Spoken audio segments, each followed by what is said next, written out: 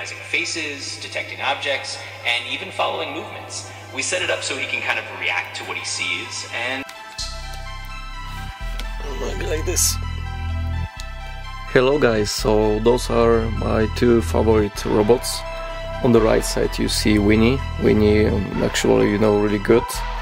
It's a small guy uh, moving around on the two tracks or caterpillars. Uh, I built him for fun, for entertainment and uh, that's what I did with him. Uh, I uh, cooperate, I will say, with ChatGPT, yes, with the AI, to tune my code and they give me some suggestions and he helped to solve many problems with that robot. And now it's a time to do the same with Eddie.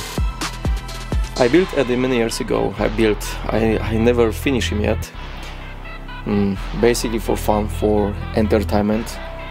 This uh, kind big human-sized robot um, was created by me just I don't really like I didn't plan it make it so big and uh, somewhere in my head was idea always to create something like real like really realistic and alive But also one thing what I wanna do now with this robot is I wanna do exactly the same what I did with Winnie. Now during the couple weeks I've been doing the experiment with Winnie. Uh, I wrote his code, I upload the code to the robot. He's been doing everything, everything what I wanted, everything works.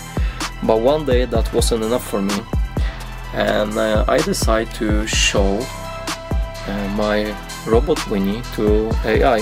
yeah, absolutely. So I'm seeing your robot standing there looking pretty cool. It's got that kind of humanoid frame with the skull-like head and these big round eye cameras. But do you know which robot it is? Do you know his name? Do you remember him? Absolutely I do. That's definitely Winnie. I remember we talked about all the personality and fun behaviors you were adding to him, so it's great to see him in action. And tell me how you helped me with the coding. What have you done so he is more uh, real? Oh, definitely. So I remember we worked on adding a bunch of those fun little personality touches, like making him chat in a kind of movie inspired way and adding those natural little micro movements so he feels more alive. Uh, we also integrated the voice recognition so he can respond to commands and have a bit of a personality. So all those little tweaks kind of help him come to life and feel more like a character than just a machine. And that camera basically lets him do all sorts of cool stuff like recognizing faces, detecting objects, and even following movements. We set it up so he can kind of react to what he sees, and it just makes him a lot more interactive. There is still so much work, but I will now. I wanna do the same, exactly same way with Eddie to give him like personality, to make him a little bit more smarter and of course more fun, more functional.